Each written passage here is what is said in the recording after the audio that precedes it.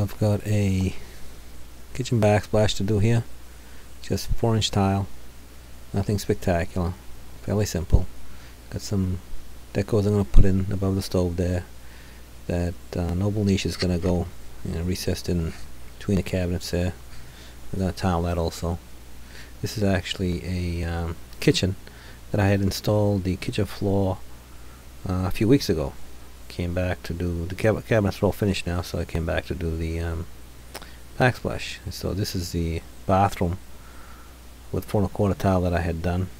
Uh, they cut the uh, countertop in so uh, had to finish around that. And so this was done a few weeks ago. Uh, so this is a kitchen floor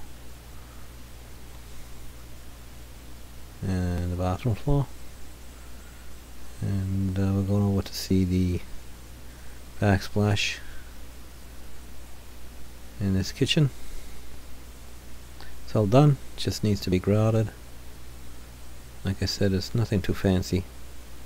Just a few decos here and one in that recessed area there.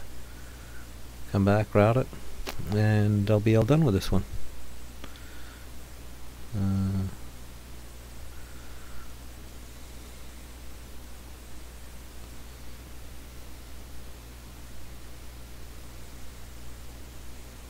that's it.